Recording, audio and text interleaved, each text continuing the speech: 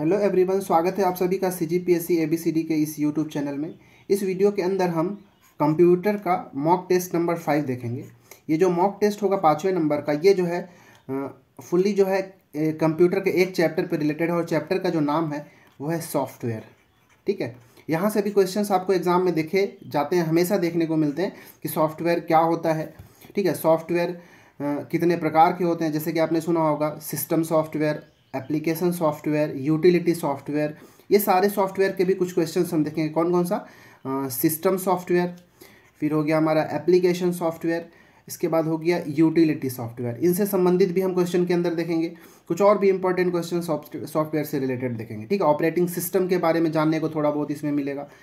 और जो भी इससे रिलेटेड जो एग्ज़ाम में वन डे एग्ज़ाम में पूछे जाते हैं, वो सारे डाउट्स आपके यहाँ पे कोशिश करूँगा कि क्लियर कर दूँ। ठीक है ना? चलिए क्वेश्चन नंबर वन की ओर बढ़ते हैं और वीडियो वीडियो को पॉज करके आप पूरा, इस वीडियो के अंदर हम एक्चुअली ट्वेंटी क्वेश्चंस को देखेंगे। ठीक है, इससे पहले कि मैं टेन क्वेश्चंस लेकर आता था, ठीक है बट इस बार एक्सप्लेनेशन ज़्यादा लंबा नहीं करूँगा और मैं ट्वेंटी क्वेश्चंस को इस वीडियो के अंदर डिस्कस करूँगा और आप वीडियो को पॉज करके भी अपना आंसर लगाएँगे और बताएँगे कि आपका कितना सही हो रहा है। ठीक है ना? ये वीडियो हमेशा के लिए यूट्यूब में अवेलेबल रहेगा इस चैनल में, आप कभी भी इसका रिविज़न कर सकते हैं। ठीक है? चलिए क्वेश्चन नंबर वन देखते हैं। पहला क्वेश्चन है कि कंप्यूटर इस क्रम में प्रोग्राम को निष्पादित करता है। निष्पादित करना मतलब एग्जीक्यूट करता है। ठीक है? किसी भी प्रोग्राम को रन करना एग्जीक्यूट करना, उसी को हम हिंदी में निष्पादित करना कहते हैं। तो कंप्यूटर किसी भी प्रोग्राम प्रोग्राम को या जो सॉफ्टवेयर होता है, उसको किस क्रम में एग्जीक्यूट करता है? डिकोड फैच और एग्जीक्यूट दूसरे में गए एग्जीक्यूट फैच और डिकोड या फिर फैच डिकोड एग्जीक्यूट या फिर इनमें से कोई नहीं। इसका सही आंसर क्या होना चाहिए? हमारे पास चार ऑप्शन में से। इसका जो राइट right आंसर है ऑप्शन नंबर सी ठीक है? फैच डिकोड और एग्जीक्यूट इसी क्रम में जो हमारा कंप्यूटर होता है, किसी भी प्रोग्राम को एग्जीक्यूट करता है। एक्चुअली ये चार तरह का होता है फैच डिकोड एग्जीक्यूट और लास्ट में होता है एक स्टोर ठीक है? ये चार स्टेज में, ठीक है ना? याद रखिएगा, ये चार स्टेप्स में कह सकते हो, ठीक है? चार स्टेप्स में जो हमारा कंप्यूटर होता है, किसी भी प्रोग्राम को एग्जीक्यूट करता है। पहला कौन सा होता है? पहला होता है फेच ठीक है, अभी मैं समझाता हूँ थोड़ा सा कि कैसे काम करता है। दूसरा हो क्या डिकोड करना। ठीक है, इसके बाद जो तीसरा होता है, वो होता है एग्जीक्यूट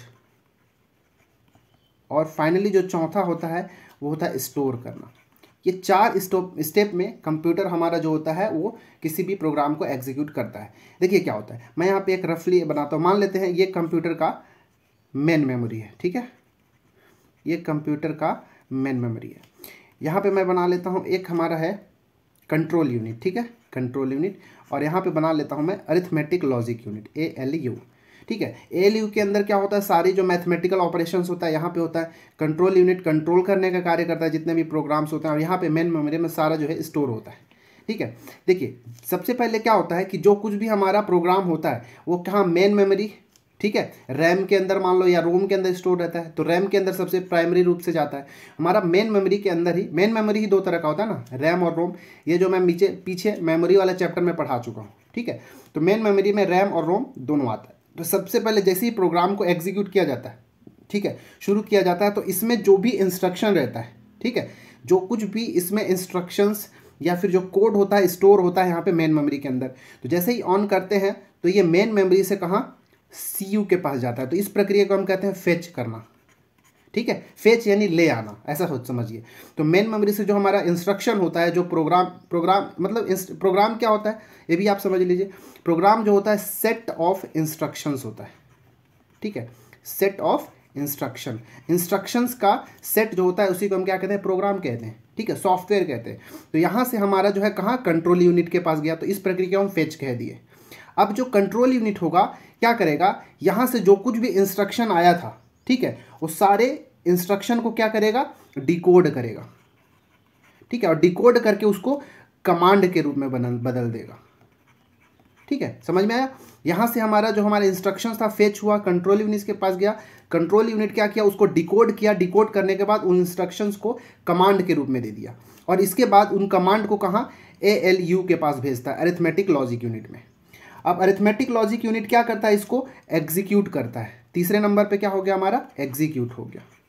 मतलब जो कुछ भी ऑपरेशन है, मान लो दो नंबर को जोड़ना है तो दो नंबर को जोड़ने के लिए जब भी हम एंटर करते हैं तो दो, तीन और बीच में ऐड का साइन होता है। तो ये सबसे पहले तीनों के तीनों जो है कहाँ कंट्रोल यूनिट में गया? कंट्रोल यूनिट क्या करता है? उसको डिकोड करेगा। मतलब टू को थ्री को और प्लस साइन को सबको डिकोड करके और कमांड के फॉर्म में कहाँ ए के पास भेजेगा। अब ए क्या करेगा? उसको एग्जीक्यूट करने का काम करेगा। ठीक है? और पूरा एग्जीक्यूट होने के बाद अरिथमेटिक ऑपरेशन यहीं पे होता है और दो, तीन, पाँच हो जाएगा ऐड तो एग्जीक्यूशन हो गया। एग्जीक्यूट होने के बाद जो हमारा रिज़ल्ट होगा, वापस कहाँ मेमोरी में ही आकर स्टोर होगा। ठीक है तो ये हमारा जो चौथा प्रोसेस होगा स्टोर के अंदर हो जाता है। और हमारा जो रिज़ल्ट हो जाता है, यहाँ पे आके स्टोर हो जाता है। बाद में कंप्यूटर पे डिस्प्ले हो जाता है। तो ये चार प्रोसेस में हमारा जो प्रोग्राम जो है, वो निष्पादित होता है एग्जीक्यूट होता है। कौन कौन सा? पहले फैच होता है, फिर डिकोड होगा एग्जीक्यूट होगा और लास्ट में स्टोर होगा। ये सीक्वेंस को याद रखिएगा एग्ज़ाम में पूछा गया है। ठीक है? चलिए, दूसरा प्रश्न देखते हैं। दूसरा प्रश्न है कि निम्नलिखित में से कौन सा ऐप ओपन सोर्स सॉफ्टवेयर है? ठीक है? देखिए, ओपन जो सॉफ्टवेयर होते हैं, दो तरह के होते हैं। कौन कौन सा? एक हो गया हमारा ओपन सोर्स। ठीक है? Open source software. और दूसरा जो होता है, उसको हम कहते हैं क्लोज्ड सोर्स। क्लोज सोर्स को और बोला जाए प्रोप्राइटरी भी कहा जाता है। ठीक है? प्रोप्राइटरी सॉफ्टवेयर्स भी कहलाते हैं। ठीक है? मतलब ये ओपन सोर्स जो है ना सभी जितने भी डेवलपर्स होते हैं, जो प्रोग्रामर्स होते हैं, उनके लिए फ्रीली अवेलेबल रहता है। इसका जो सोर्स कोड होता है ना सबके लिए अवेलेबल होता है। सब उसमें प्रोग्रामिंग करते हैं, सब उसका यूज़ करते हैं। लेकिन क्लोज सॉफ्टवेयर जो होता है, ये किसी निजी कंपनी के द्वारा बनाया जाता है, जो इसलिए ताकि वहाँ से वो अर्निंग कर सके। ठीक है? वहाँ से वो पैसा कमा सके। तो ये जो हमारा फ्रीली इसका सोर्स कोड अवेलेबल नहीं होता। ठीक है? इसको खरीदना पड़ता है हमको। ठीक है? जैसे आपने सुना सुना होगा कि जो विंडोज़ होते हैं, ठीक है? विंडोज़ हमारा ऑपरेटिंग सिस्टम है, क्या है?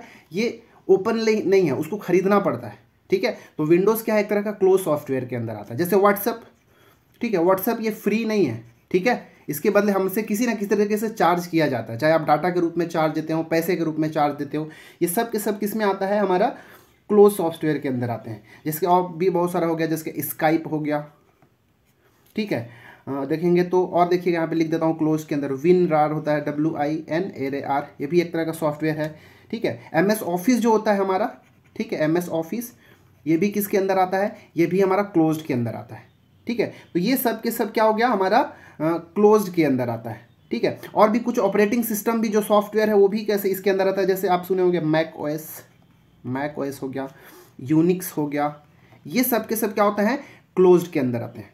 अब ओपन सोर्स के अंदर देख लीजिए, ये विंडोज़ किसके अंदर आता है? क्लोज या प्रोप्राइटरी के अंदर आ गया। मैक ओएस भी होता है, इसी के अंदर होता है। यूनिक्स बीसी के अंदर। इसका जो सही आंसर है वो ऑप्शन नंबर बी ठीक है? ये हमारा जो लिनक्स है लाइनक्स है, ये क्या है एक? ओपन सिस्टम सॉफ्टवेयर है। ठीक है? ओपन सिस्टम सॉफ्टवेयर क्लियर है? आपको उम्मीद है इतना समझ में आ गया। जैसे ओपन सिस्टम सॉफ्टवेयर के अंदर एक तो हम ये देख लिए कि लिनक्स हो गया। इसके अलावा आप याद रखिएगा, जैसे आप देखे होगा मोजिला फायरफॉक्स ठीक है? मोजिला फायरफॉक्स ये क्या है? एक तरह का क्या है? ओपन सॉफ्टवेयर है। ठीक है? ओपन सॉफ्टवेयर मोजिला फायरफॉक्स का यूज़ कहाँ करते हो आप? तो ये एक तरह का वेब ब्राउज़र है। ठीक है ना? जैसे वी मीडिया प्लेयर जो होता है, ये भी एक तरह क्या है? ओपन सोर्स सॉफ्टवेयर है। ठीक है? तो ये सब याद रखिएगा आपको। बहुत काम का चीज़ है। सब एग्ज़ाम में पूछे जाते हैं। ठीक है? प्रश्न क्रमांक तीन।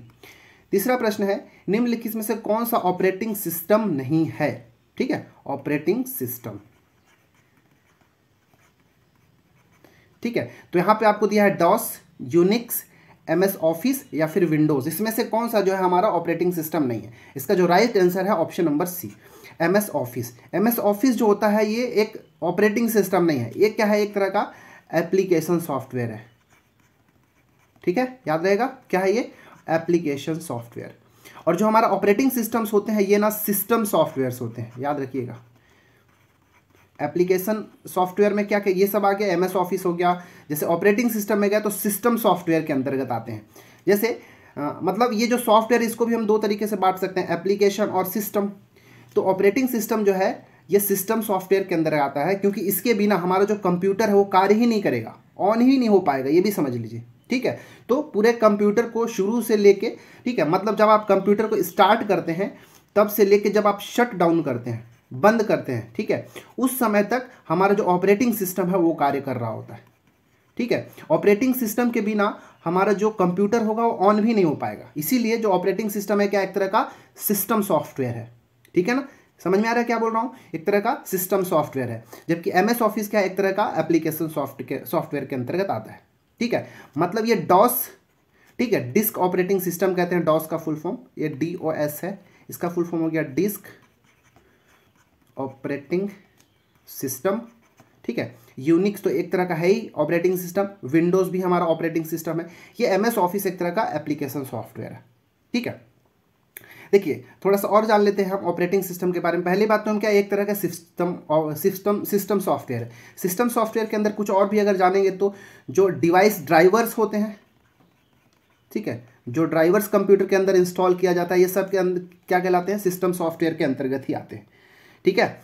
एप्लीकेशन सॉफ्टवेयर के अंदर अगर हम गए तो हमको क्या क्या दिख गया? जैसे हमारा एप्लीकेशन सॉफ्टवेयर में गए तो हमारा क्या मिल गया? एमएस ऑफ़िस मिल गया, ठीक है? और अगर देखेंगे तो आप जैसे कि अपने यूज़ के लिए, जो काम की चीज़ के लिए हम जो अपन एप्लीकेशन रखते हैं, वो सब किसके अंदर आता है? एप्लीकेशन सॉफ्टवेयर के अंतर्गत आता है। जैसे अगर आप देखेंगे तो हमारा क्या हो गया एक तरह का? माइक्रोसॉफ्ट ऑफ़िस तो हो गया, और जैसे हम यूज़ करते हैं फोटोशॉप वगैरह यूज़ करते हैं, ठीक?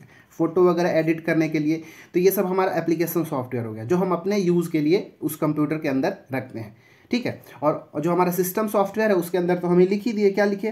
कि जो हमारा ऑपरेटिंग सिस्टम होता है, वो सिस्टम सॉफ्टवेयर के अंदर हो गया डिवाइस के जो ड्राइवर्स होते हैं, वो होते हैं। देखिए, जो हमारा एप्लीकेशन सॉफ्टवेयर होते हैं ना, ये हाई लेवल लैंग्वेज के अंदर लिखा जाता है, ठीक है? इसमें, इसकी जो सॉफ्टवेयर बनाई जाती है जब तो ये हाई लेवल लैंग्वेज में इसका सॉफ्टवेयर को डेवलप किया जाता है। जैसे इसके अंदर हाई लेवल लैंग्वेज का मतलब देखेंगे तो जावा सी प्लस प्लस ठीक है? ये सब के सब किसमें आता है हमारा? हाई लेवल है पाइथन ठीक है? ये सब क्या है? हाई लेवल लैंग्वेज है। एप्लीकेशन सॉफ्टवेयर को इसके अंदर लिखा जाता है। वहीं जो हमारा ऑपरेटिंग सिस्टम होता है, इनको लो लेवल लैंग्वेज में लिखा जाता है। ठीक है? याद रहेगा? लो लेवल लैंग्वेज में इनको लिखा जाता है। ठीक है? तो ये सब हमारा हो गया इस क्वेश्चन का एक्सप्लेनेशन ठीक है? चलिए, चौथा प्रश्न में पढ़ते हैं। चौथा प्रश्न है कि आपके कंप्यूटर एवं उनकी सुरक्षा को नुकसान पहुँचाने या आपराधिक गतिविधियों को को करने में प्रयुक्त सॉफ्टवेयर को क्या कहते हैं? मतलब सीधी सी बात आपसे ये पूछा जा रहा है कि ऐसे कौन से सॉफ्टवेयर है जो आपके कंप्यूटर को नुकसान पहुंचाते हैं या फिर आपके कंप्यूटर के साथ क्या करते हैं? उसको नुकसान पहुँचाने का कार्य करते हैं। ये सिंपल सी बात है। ठीक है? तो इसमें कौन कौन? शेयर बाज़ार, मालवेयर, एडवेयर या फिर फ्रीवेयर? इसका सही आंसर क्या होना चाहिए? ठीक है? ये तो हमारा सही आंसर आपको पता होगा मालवेयर हो गया। ठीक है मालवेयर को हम क्या कहते हैं? वायरस कहते हैं, सीधी सी बात में अगर देखा जाए तो। ठीक है वायरस का फुल फॉर्म मैं बताया हूँ। वाइटल इंफॉर्मेशन अंडर सीज ठीक है, ये हो गया हमारा मालवेयर मालवेयर मतलब वायरस समझिएगा। ठीक है, अब देखिए जैसे कुछ आप वायरस का नाम भी आप याद रखिएगा। अगर हम ये देख रहे हैं तो इस कुछ हमको वायरस का नाम भी होना चाहिए। जैसे आपने सुना होगा, ट्रोजन हॉर्स। ठीक है? ट्रोजन हॉर्स क्या है? एक तरह का मालवेयर है।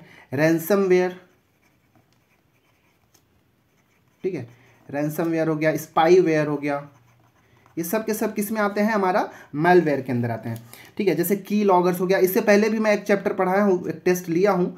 ठीक है? जिसमें ये सारे का हम क्वेश्चन भी बना चुके हैं। तो की लॉगर्स हो गया बॉटनेट हो गया, ठीक है? स्पैम हो गया। ये सब के सब क्या आते हैं? कंप्यूटर मालवेयर या फिर वायरस के अंतर्गत आते हैं। ठीक है? तो इसका हमारा आंसर ये हो गया। जैसे कुछ एडवेयर भी होते हैं। एडवेयर क्या होते हैं कि जब आप इंटरनेट वगैरह चलाते हैं, ठीक है? तो उस समय क्या होता है? कुछ ऐसे प्रोग्राम्स होते हैं। ठीक है? कुछ ऐसे प्रोग्राम्स होते हैं जो कंप्यूटर यूज़र्स को क्या करते हैं बार बार अवांछित विज्ञापन, ऐड की तरह देते रहता है। ठीक है, जैसे आप जैसे ही कोई मान लो कोई वेबसाइट खोलते हैं, वहाँ पे देखेंगे तो बार बार आपको कुछ पॉपअप मिलते रहेगा, जिसमें आपको क्या होगा फालतू का वहाँ पे आपको नोटिस मिलता रहेगा, दिखते रहेगा, या फिर विज्ञापन दिखते रहता है। इसी को हम एडवेयर कहते हैं। ऐड करने की दृष्टि से बनाया जाता है कि जो भी कंप्यूटर यूज़र होते हैं, उसको अपने आप कुछ कुछ फ्री फ्री में मतलब वहाँ पे अवांछित अनवांटेड जो विज्ञापन एडवर्टाइजमेंट आपको देखने को मिलता है तो हमारा एडवेयर के अंतर्गत आता है। ठीक है? तो ये था क्वेश्चन नंबर फोर आपको अच्छे समझ में आया होगा। चलिए पांचवा प्रश्न। पांचवा है कि ऑपरेटिंग सिस्टम का निम्नलिखित में से कौन सा कार्य नहीं है? ठीक है? इनपुट आउटपुट डिवाइसेस पर नियंत्रण रखना बिल्कुल सही है ये वाला तो है उसका कार्य। यूज़र्स के द्वारा चाहे गए उपयुक्त सॉफ्टवेयर का चुनाव करना ठीक है? जब तक पहली बात तो जब तक आपका ऑपरेटिंग सिस्टम नहीं रहेगा तो आप, आपका कंप्यूटर ही कुछ भी काम नहीं करेगा। ठीक है? कोई इनपुट आउटपुट डिवाइस है। देखिए ऑपरेटिंग सिस्टम जो होता है ना दो तरह का मैंने क्या बोला? तीन तरह का सॉफ्टवेयर मैंने बताया था सिस्टम एप्लीकेशन और यूटिलिटी सॉफ्टवेयर तीन तरह का होता है। तो जो ऑपरेटिंग सिस्टम होता है हमारा, एक तरह का कैसा है ये? सिस्टम सॉफ्टवेयर है। ठीक है? ध्यान से देखिएगा मैं क्या बोल एग्ज़ाम में यहाँ पे पूछा गया है। और ये जो ऑपरेटिंग सिस्टम होता है, और ये हमारे कंप्यूटर का जो हार्डवेयर होता है, ठीक है? कंप्यूटर का हार्डवेयर और कह लीजिए कि जो हमारा एप्लीकेशन सॉफ्टवेयर होता है। ठीक है? एप्लीकेशन सॉफ्टवेयर इन दोनों के बीच में इंटरफेस का कार्य करता है, यहाँ पर। इन दोनों के बीच में इंटरफेस का कार्य कौन करता है? हमारा सिस्टम सॉफ्टवेयर के अंदर जो तो ऑपरेटिंग सिस्टम ठीक है? मतलब ऑपरेटिंग सिस्टम जो होता है, वो क्या करता है? हमारा जो एप्लीकेशन सॉफ्टवेयर और जो हार्डवेयर्स होते हैं, ठीक है? कंप्यूटर के हार्डवेयर उन दोनों के बीच में इंटरफेस का कार्य करता है। याद रखिएगा एग्ज़ाम में पूछा गया है। ठीक है? तो ये पहला ठीक है। इनपुट आउटपुट डिवाइसेस पर नियंत्रण रखेगा। ठीक है? बिल्कुल। दूसरा यूज़र के द्वारा चाहे गए उपयुक्त सॉफ्टवेयर का चुनाव करने में मदद करेगा। ये भी सही है। कंप्यूटर के संसाधन जैसे मेमोरी सीपीयू टाइम आदि को आवंटित करना इसी का काम होता है। तो ये भी सही है। चौथा हाई लेवल लैंग्वेज को असेंबली लैंग्वेज में ट्रांसलेट करना। ये ऑपरेटिंग सिस्टम का काम नहीं होता है। इसलिए हमारा जो ऑप्शन नंबर डी होगा, हमारा इस क्वेश्चन का सही आंसर होगा। ठीक है? देखिए अच्छा जो हाई लेवल लैंग्वेज को असेंबली लैंग्वेज में कन्वर्ट देखिए, हमारे पास अच्छा ये आगे के क्वेश्चंस में आएँगे, मैं वहाँ पे क्लियर करूँगा कि कंपाइलर क्या होता है असेंबलर क्या होता है इंटरप्रेटर क्या होता है तो हम आगे के क्वेश्चन में देखेंगे। ठीक है? चलिए, बढ़ते हैं छठवें प्रश्न की ओर। छठवां है कि निम्नलिखित में से कौन सा ऑपरेटिंग सिस्टम सॉफ्टवेयर किसी कंप्यूटर को प्रारंभ करने के काम में लाया जाता है? एम एस डॉस ठीक है? M S DOS Windows Unix या उपरोक्त में से सभी। कौन सा इसका सही आंसर है? इस चारों में से कौन सा ऐसा है, ठीक है, जिसका यूज़ कंप्यूटर को प्रारंभ करने के लिए किया जाता है? M S DOS Windows Unix या उपरोक्त सभी। ये हमको बताना है, ठीक है? तो इसका जो राइट आंसर होगा ऑप्शन नंबर डी उपरोक्त सभी। देखिए कंप्यूटर सिस्टम को आरंभ करने के लिए हमको सबसे पहला क्या चाहिए होता है? ऑपरेटिंग सिस्टम ठीक है? ऑपरेटिंग सिस्टम और ऑपरेटिंग सिस्टम कोई सा भी हो सकता है। कोई ज़रूरी नहीं है कि हमारा जब यूनिक्स होगा तभी चालू होगा या विंडोज़ का होगा तभी चालू होगा, ऐसा नहीं है। कंप्यूटर को ऑन होने के लिए बस एक बेसिक सा ऑपरेटिंग सिस्टम उसके अंदर होना ही चाहिए। ये चारों तो ऑपरेटिंग सिस्टम ही है। विंडोज़ से M S DOS Microsoft disk operating system Windows भी एक तरह का ऑपरेटिंग सिस्टम है। यूनिक्स भी ऑपरेटिंग सिस्टम है। मतलब ये चारों के चारों हमारा मतलब तीनों जो है सही है। ठीक है? इसलिए हमारा इसका जो आंसर होगा उपयुक्त क्या बोलते हैं? सभी होगा डी होगा। ठीक है? चलिए, सातवां प्रश्न। सातवां प्रश्न है निम्नंकित सॉफ्टवेयर में कौन सा एंटीवायरस सॉफ्टवेयर नहीं है? ठीक है? अभी हम पीछे देखे थे वायरस ठीक है? वायरस क्या होता है जो हमारे कंप्यूटर को नुकसान पहुंचाता है, उसको डैमेज करने का काम करता है, ठीक है? उसको हमको ब्लॉक करने का कार्य करता है कंप्यूटर स्लो डाउन हो जाता है। तो ये सारे चीज़ को हम वायरस कहते थे। अब उसको रोकने के लिए, हमारे कंप्यूटर को सुरक्षा प्रदान करने के लिए, उसके विरोध में एक सॉफ्टवेयर बनाए जाते हैं, जिसको हम एंटीवायरस सॉफ्टवेयर कहते हैं। ठीक है? क्या कहते हैं? एंटीवायरस सॉफ्टवेयर अब ये चारों में से कौन सा जो है एंटीवायरस सॉफ्टवेयर नहीं है? मैक कैफ़े स्पेलिंग भी याद रखिएगा ना। McAfee Opera Quick Heal और नॉर्टोन कौन सा जो है इसमें एंटीवायरस सॉफ्टवेयर नहीं है? इसका जो राइट आंसर है ऑप्शन नंबर बी बी जो है एक एंटीवायरस सॉफ्टवेयर नहीं है। ठीक है? ओपेरा ओपेरा क्या है? एक तरह का, एक तरह का होता है वेब ब्राउज़र है। ठीक है ये भी एक पीछे मैं क्लास ले चुका हूँ एक मॉक टेस्ट हम ले चुके हैं जिसमें हमने वेब ब्राउज़र और, और हमारा सर्च इंजन है दोनों के बारे में हम देखे थे। मॉक नहीं था बट छोटा सा एक वीडियो था जिसमें मैंने सारा चीज़ आपका डाउट क्लियर कराया था। तो ओपेरा क्या है एक तरह का वेब ब्राउज़र है एक एंटीवायरस सॉफ्टवेयर नहीं है। बाकी मैक एफे क्विक हिल नॉट ऑन ये सब के सब एंटीवायरस के अंदर आते हैं। ठीक है कुछ और भी अगर देखना है तो आप याद रख सकते हैं एंटीवायरस के कुछ नाम। जैसे कि ये ये सब तो हो ही गया जैसे और होता है आपने सुना होगा एवीजी ठीक है? ए हो गया भी एक एंटीवायरस है बिट डिफेंडर ठीक है? बिट डिफेंडर हो गया। एक होता है एवीरा होता है अवास्ट होता है। ठीक है? इसके बाद मैक कैफ़े तो हो गया?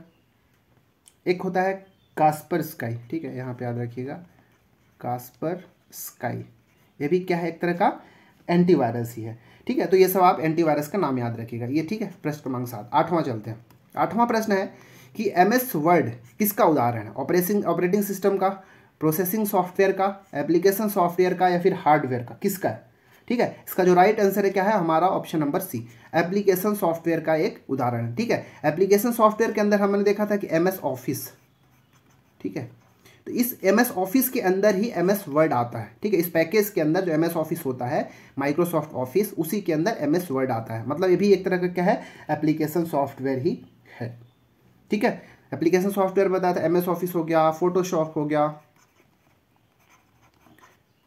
ठीक है और देखेंगे तो जैसे कि हमारा पेज मेकर हो गया। ये सब क्या होता है हमारा? आ, क्या बोलते हैं सब एप्लीकेशन सॉफ्टवेयर है। ठीक है? तो एम एस वर्ड भी एक तरह का क्या होगा? एप्लीकेशन सॉफ्टवेयर सॉफ्टवेयर के अंदर ही आएगा। ठीक है? ऑपरेटिंग सिस्टम में तो हम जानते हैं जैसे विंडोज़ हो गया यूनिक्स हो गया लाइनेक्स हो गया विंडोज़ हो गया एंड्रॉयड हो गया, ये सब के सब ऑपरेटिंग सिस्टम के अंदर आते हैं। ठीक है? तो ये था प्रश्न क्रमांक आठ। चलिए नौवा बढ़ते हैं। नौवा प्रश्न है, निम्नलिखित में से कौन सा software open source operating system software नहीं है? ठीक है? तो ओपन सोर्स और क्लोज सोर्स मैंने पहले बताया, ठीक है? बट यहाँ पे ऑपरेटिंग सिस्टम पूछा है। ठीक है? ओपन सोर्स ऑपरेटिंग सिस्टम ठीक है? कौन सा नहीं है? Free B D S Ubuntu Macintosh या फिर ओपन सोलारिस कौन सा जो है फ्री में ऑपरेटिंग सिस्टम अवेलेबल नहीं है?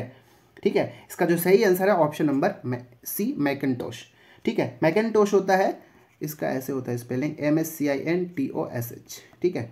ये जो है ओपन सोर्स ऑपरेटिंग सिस्टम नहीं है. एक्चुअली जो हमारा, ये जो मैकेंटोस है, जो हमारा एप्पल इंक कंपनी है, ठीक है? एप्पल इंक कंपनी उसके द्वारा ये जो है बनाया जाता है। ठीक है, इसके द्वारा ये डेवलप किया जाए डिज़ाइन किया गया है। ठीक है, बाकी ओपन सोलारिस उबंतु हो गया और फ्री बी डी हो गया। ठीक है फ्री बी एस डी ये सब हमारा ओपन सोर्स ऑपरेटिंग सिस्टम के अंतर्गत आते हैं। ठीक है, चलिए अब बढ़ते हैं प्रश्न क्रमांक दसवां में। दसवां है कंप्यूटर को खाली स्थान बताता है कि इसके कंपोनेंट्स का प्रयोग कैसे किया जाए। ठीक है नेटवर्क यूटिलिटी ऑपरेटिंग सिस्टम या फिर इनमें से कोई नहीं। कौन जो है, बताता है हमारे कंप्यूटर को कि इसके कंपोनेंट्स का प्रयोग कैसे करना चाहिए। ठीक है? तो इसका जो सही आंसर है, ऑप्शन नंबर बी। जो यूटिलिटी सॉफ्टवेयर्स होते हैं, ठीक है? यूटिलिटी सॉफ्टवेयर, वो क्या करते हैं? हमारे कंप्यूटर को ये बताते हैं कि कैसे उसके कंपोनेंट्स का यूज़ किया जाना चाहिए। ठीक है? देखिए एक्चुअली जो यूटिलिटी सॉफ्टवेयर्स होते हैं, इसलिए डिज़ाइन किए जाते हैं ताकि कंप्यूटर को क्या कर सकते एनालाइज किया जा सके। कॉन्फ़िगर किया जा सके, ठीक है? ऑप्टिमाइज किया जा सके, या फिर मेंटेन किया, कैसे किया जाए, ठीक है? तो ये सारा काम की दृष्टि से क्या किया जाता है? हमारा जो यूटिलिटी सॉफ्टवेयर्स होते हैं, उनको बनाया जाता है। अच्छा कुछ याद रखिएगा एग्ज़ाम में आपसे पूछ सकता है कि निम्नलिखित में से कौन सा यूटिलिटी सॉफ्टवेयर नहीं है। तो कुछ आपको यूटिलिटी सॉफ्टवेयर के नाम याद होना चाहिए। जैसे कि मैं यहाँ पे इधर लिखता हूँ। जैसे एक होता है, जैसे एंटीवायरस जो होते हैं ना, ठीक है? एंटीवायरस वो भी क्या होते हैं? ये यूटिलिटी सॉफ्टवेयर के अंतर्गत ही आते हैं, ठीक है? एंटीवायरसेस ठीक है? और जैसे कंप्रेशन टूल्स वगैरह आते हैं, ठीक है?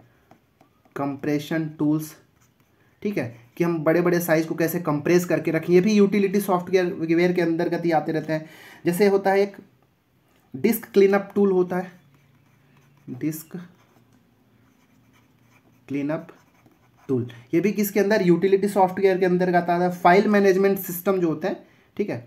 कहाँ लिखा जाए? यहाँ पे लिखता हूँ।